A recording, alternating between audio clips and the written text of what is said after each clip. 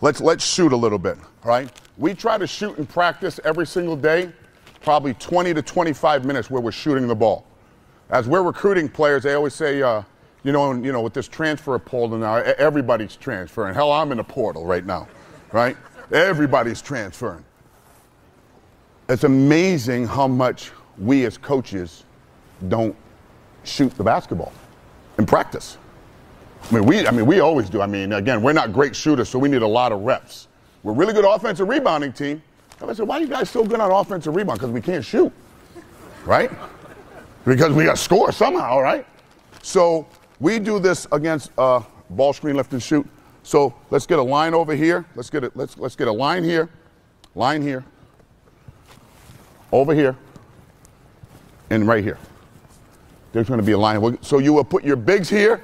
This is a great shooting drill, and this is against what we call black ball screen coverage, meaning a hard hedge on the sideline.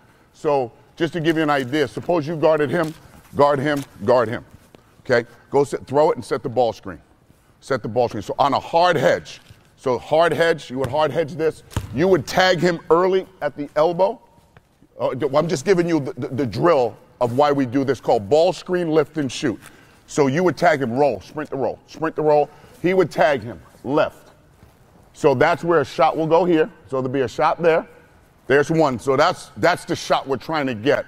Anytime they hard hedge, hard hedge the sideline. Then as he's melting back out to get him, you're rotating down. So a shot will go there, rotate back out. Come now you come here. Then we would post feed.